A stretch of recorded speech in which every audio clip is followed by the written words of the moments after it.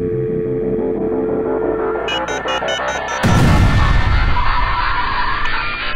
is up, everybody? It's your boy Brian Pulido, creator of Lady Death, and we are back to unleash the most mind warping chapter of Lady Death's undead life. An all new 48 page original graphic novel entitled Lady Death Imperial Requiem. This story continues Evilverse Unleashed, a company wide theme overtaking the Coffinverse in 2023. Stranded in an alternative dystopian future Earth where her evil persona, Empress Death, has nearly extinguished the human race, things get worse for our Lady Death.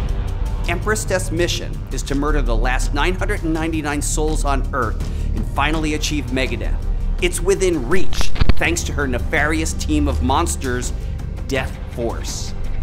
Can Lady Death, aided by the super heroic team The Trust, conquer the cruelest opponent she's ever faced and overcome insurmountable odds? Or will Empress Death be victorious and set her murderous sights on our Earth?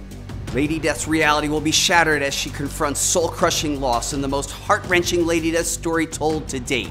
Helping me bring this latest chapter to life is our returning team of co writer Mike McLean, illustrator Diego Bernard, colorist Cece De La Cruz, and veteran letterer Marshall Dillon. And look, here's the thing this project is done. All we gotta do is print. But I need your help to make it happen. Please pledge now and tell everyone you know that Lady Death is back. Thank you so much, everybody. You are amazing. Later.